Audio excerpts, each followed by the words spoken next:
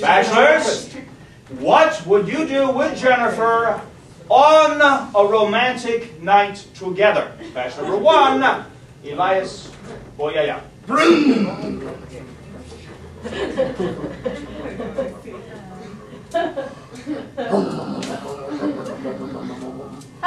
We go really fast. and I take you to the gas station, the, the, the Citgo at the corner. We get gas. And after we get gas, then we get premium gas. At least one gallon. Wow. At least one gallon. Then after we, after we smell at least half of that gallon, keep running and, and going really fast. You, you're from my idea. So 49th Street and Palm Avenue, the Wendy's there. The drive-through smells like diesel.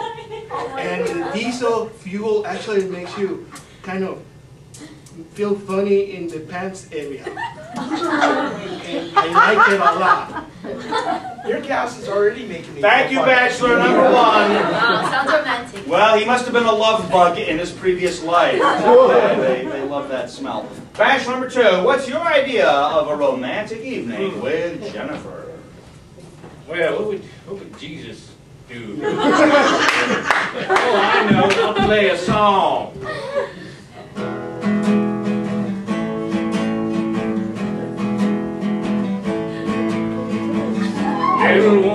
A little tiny head. Little woman with a little tiny head. I could crush it with one hand and she'd be dead. Little woman with a little tiny head. Her head so tiny, so is her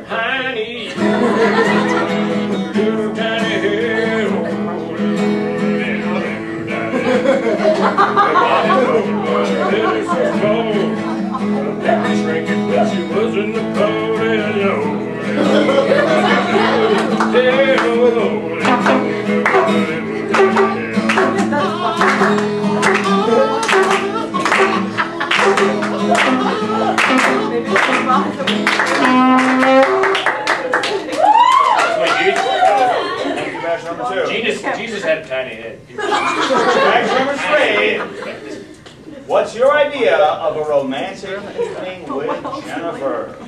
Well, first of all, you have to understand, I'm a politician now, and I'm, I'm, I'm under scrutiny. People are watching me all the time, so I'd have to take you to a private place so that we could be alone and have some alone time, some, some you, me, we time.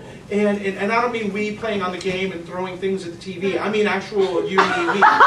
And what we would do is we would go in, and we would go, and I'd take you to my computer room. The layer. Oh my god. I would take you to the layer. And what we would do is we would be watching my empire grow. Every tick, every hour, I gain more money, I gain more land. It's really cool. And what I would do is I'd put you up next to my computer. I would turn on the computer. I'd turn you on too, of course. And then what I would do is, while the computer's on and you're sitting there, I would get my mouse and I would point and I would click, click, click, click, click, click, click, click. Oh yes, you would like it when I click, trust me. Especially when I'm pushing the right button on the mouse.